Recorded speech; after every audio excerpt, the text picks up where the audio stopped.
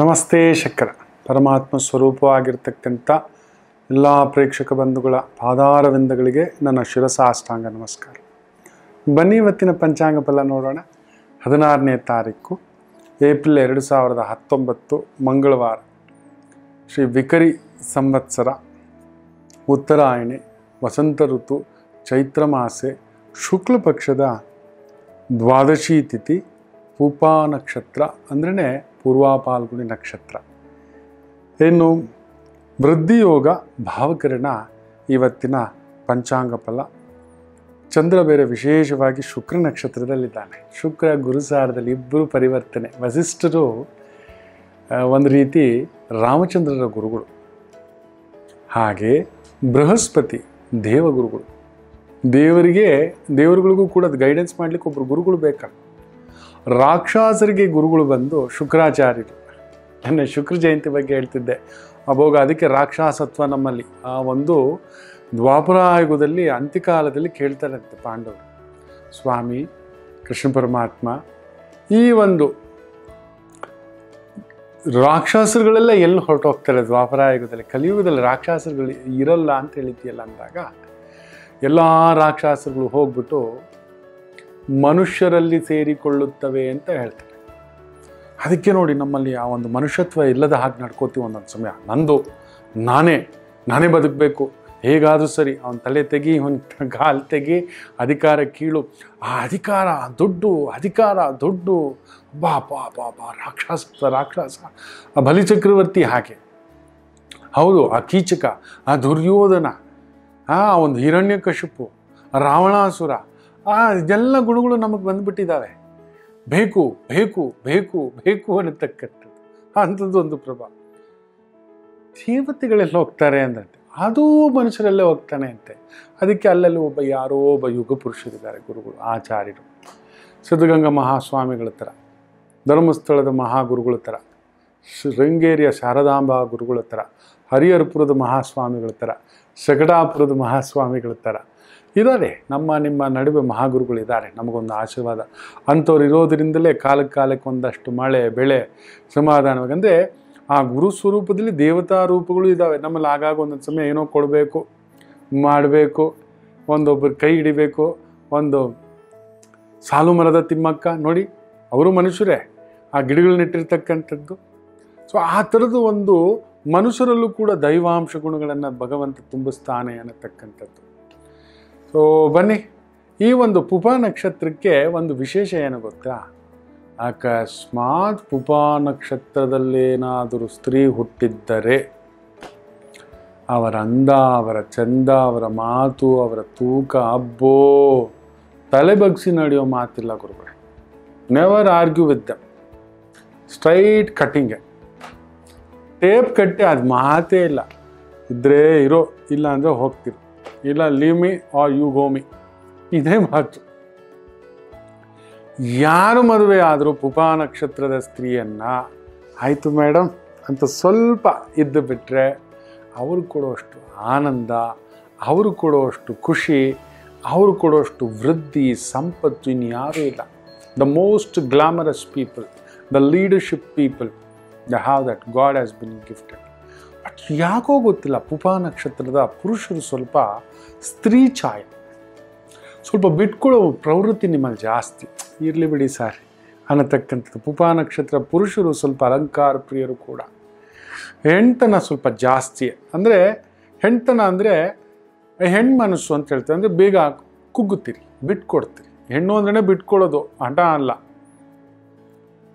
ಗಂಡಿಗೆ ಕೋಪ ಜಾಸ್ತಿ ಇರಬಾರ್ದು, ಹೆಣ್ಣು ಕೋಪ ಇರಬಾರ್ದು, ಗಂಡಿಗೆ ಆತುರ ಇರಬಾರ್ದು ಅಂತ ಹೇಳ್ತೇವೆ.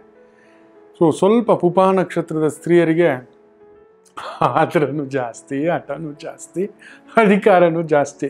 ನಂದೇ but they are right also but ಯಾಕೋ ಕೌಟುಂಬಿಕ ಜೀವನದಲ್ಲಿ ಅಲ್ಲೊಂದು ಸಣ್ಣ ಹುಳಿ ಇಟ್ಟಿರ್ತೇನೆ. ಮೇ ಬಿ ನಿಮ್ಮ ಗಾಂಭೀರ್ಯ, ನಿಮ್ಮ ಒಂದು ವಾಕ್ ನಿಮ್ಮ ಒಂದು ಮಾತು ನಿಮ್ಮ ಒಂದು ದೃಢತ್ವ, ಆ ದೃಢಕಾಯ, ಆ ಅಂಧತ್ವ, ನಿಮ್ಮ ನೇರ ನುಡಿ, ನಿಮ್ಮ ಪ್ರಾಮಾಣಿಕತೆ maybe people will get jealous and they will pour you some petrol ಅವ್ರಿಗೆ ಗೊತ್ತಿಲ್ಲ. ಬೆಂಕಿಗೆ ಪೆಟ್ರೋಲ್ ಹಾಕಿದ್ರೆ ಇನ್ನೂ ಜೋರಾಗಿ ದಗ ದಗ ದಗ ದಗ ಉರಿಯುತ್ತೆ ಅಂದರೆ ನಿಮಗೆ ಪೆಟ್ಟು ಕೊಟ್ಟಷ್ಟು ಎದ್ದು ನಿಲ್ಲೋದು ಜಾಸ್ತಿ ಮಕ್ಕಳ ನೀವು. ಯಾರಿಗೂ ಸೈ, ಎಲ್ಲದಕ್ಕೂ ಸೈ. ಎಸ್ ದಾಟ್ಸ್ ಯುವರ್ ಕೆಪಾಸಿಟಿ ಉಪ ನಕ್ಷತ್ರದಲ್ಲಿ ನಿಮ್ಮ ಮನೆ ಹೆಣ್ಮಕ್ಳು ಹುಟ್ಟಿದ್ರೆ ಅವರನ್ನು ಒಂದು ವಿಶ್ವಸುಂದರಿ, ಅಲಂಕಾರ, ಆ ಒಂದು ಗತ್ತು, ತೂಕ ಅದರ ಕಡೆ ಅವ್ರ ಪಾಡಿಗೆ ಅವ್ರು ಕರ್ಕೊಂಡು ಹೋಗ್ಬಿಡುತ್ತೆ. ಸೂಪರ್.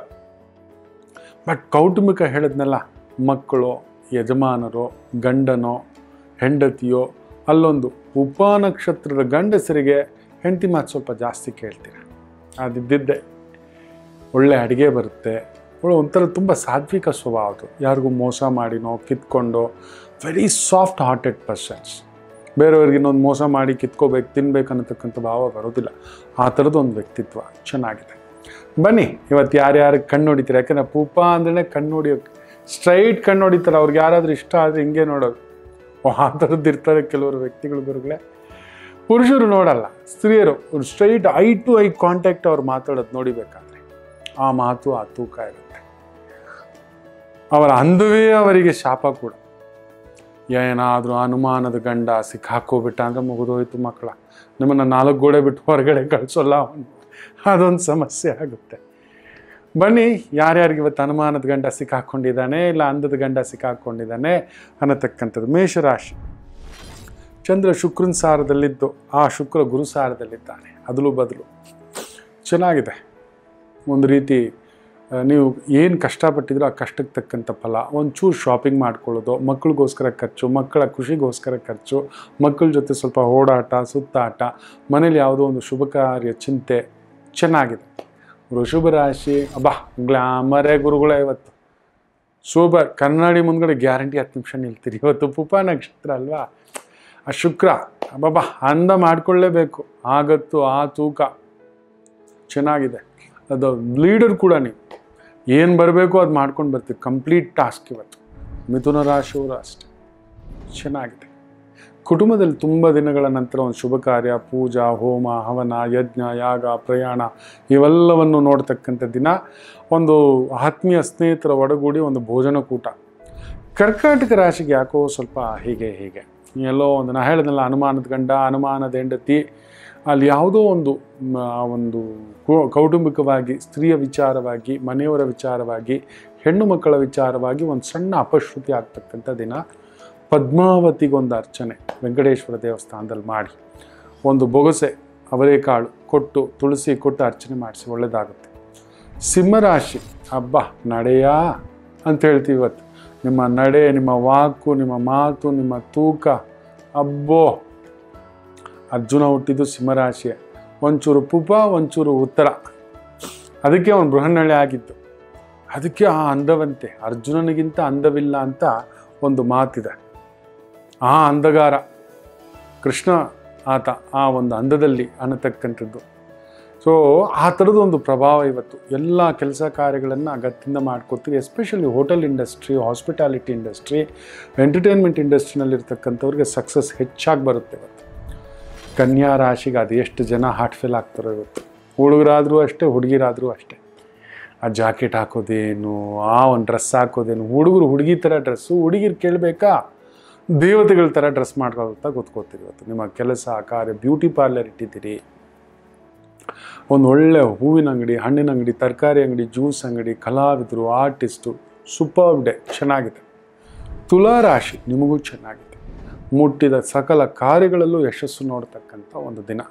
ಮನೇಲಿ ಯಾವುದೋ ಒಂದು ಮದುವೆ ವಿಚಾರ, ಯಾವುದೋ ಒಂದು ಸ್ತ್ರೀಯ ವಿಚಾರವಾಗಿ ತಲೆ ಕೆಡಿಸ್ಕೋತಿದ್ರೆ ಯಶಸ್ಸು ಕಾಣ್ತೀರಿ ವೃಶ್ಚಿಕ ರಾಶಿ ನಿಮಗೂ ಅಷ್ಟೇ. ಇವತ್ತು ಸ್ವಲ್ಪ ಖರ್ಚು ಮಾಡ್ಕೋತೀರಿ. ಅಂದಕ್ಕೋಸ್ಕರ, ಖುಷಿಗೋಸ್ಕರ, ಮನೆ ಅಲಂಕಾರ, ಒಪ್ಪ, ಓರಣ, ಪೇಂಟಿಂಗ್, ಬಟ್ಟೆ, ಈ ಒಂದು ಕಿಟಕಿಗೆ ಒಂದು ಬಟ್ಟೆಗಳನ್ನು ತಂದು ಹಾಕೋದು, ದೊಡ್ಡ ದೊಡ್ಡ ದೊಡ್ಡ ದೊಡ್ಡ ಸೋಫಾಗಳನ್ನು ತಂದು ಹಾಕೋದು ಎಲೆಕ್ಟ್ರಾನಿಕ್ ವಸ್ತುಗಳನ್ನು ತಂದಿಡೋದು ಈ ಥರದ ವಿಚಾರಕ್ಕೋಸ್ಕರ ಸ್ವಲ್ಪ ಖರ್ಚು ವೆಚ್ಚಗಳು ಚೆನ್ನಾಗಿದೆ.